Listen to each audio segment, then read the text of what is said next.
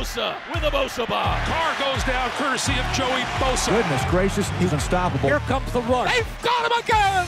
Wrapped up, and he's dropped. How good is Joey Bosa? Are you kidding me? Takes the snap, and he is hit and brought down. Under pressure, drop, Joey Bosa. Cannot block these guys. Joey Bosa here with the Los Angeles Chargers with my buddy Alama. My name is Alama Collins. Like you said, um, I'm from Long Beach Wilson High School, and I play uh, defensive tackle. All right, let's get into these plays.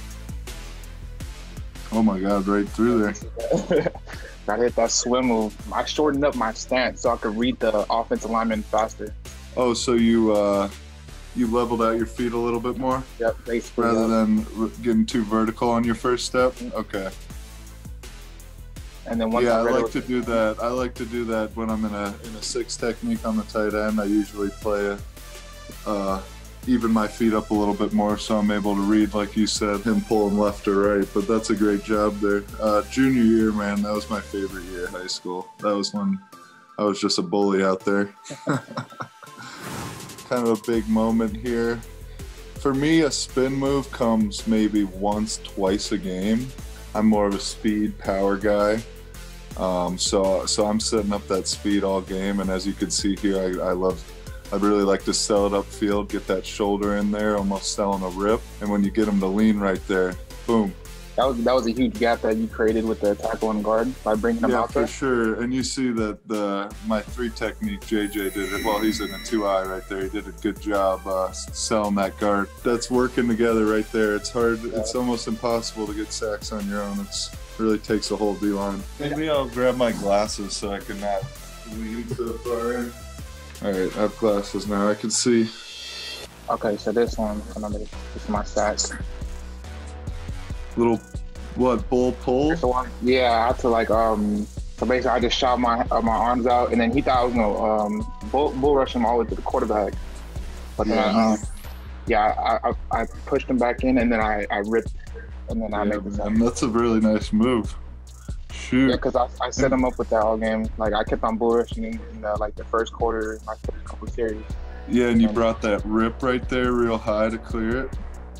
Yeah, you're a smart player. I see you. You're making a lot of good calls off of their like alignment and game plan and everything. It's really impressive.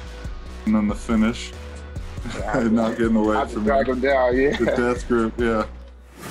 Yeah, I called game here. Another, I'd like to say, uh, effort play here. Did you see him leaning over?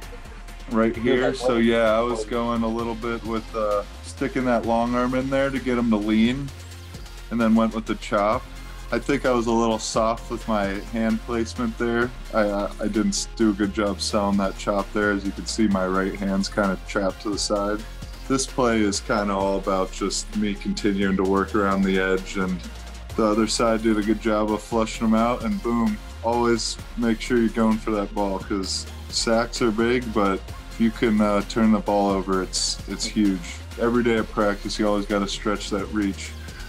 Yeah, that was a great play though. Great hustle play.